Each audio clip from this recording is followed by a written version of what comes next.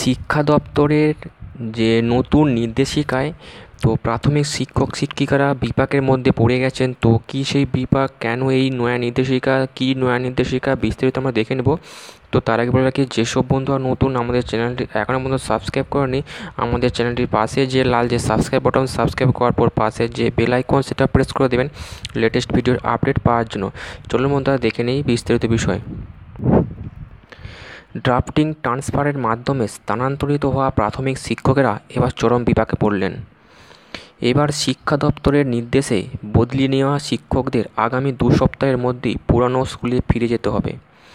পয়লা June দু হাজার আঠেরো থেকে একত্রিশে ডিসেম্বর দু হাজার আঠেরো পর্যন্ত যেসব শিক্ষক শিক্ষিকাদের ক্ষেত্রেই এই নিয়ম চালু করা হয়েছে, মোট তিনশো উনত্রিশ জন শিক্ষককে এই নির্দেশের আওতায় ফেলা হয়েছে বলে খবর। প্রসঙ্গত প্রাথমিক শিক্ষকরা নির্দিষ্ট বয়ানে আবেদনের মাধ্যমে ড্রাফটিং ট্রান্সফারের সুযোগ পেয়েছিলেন, কিন্তু এ ধরনের সিদ্ধান্তের যুক্তিকতা ও মানদণ্ড নিয়ে প্রশ্ন উঠেছে।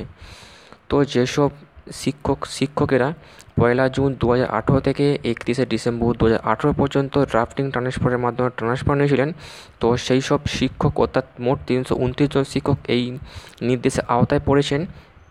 তো সেই সব শিক্ষককে যে স্কুলে চাকরি করতেন সেই স্কুলে আবার ফিরে যেতে হবে দু সপ্তাহের মধ্যেই।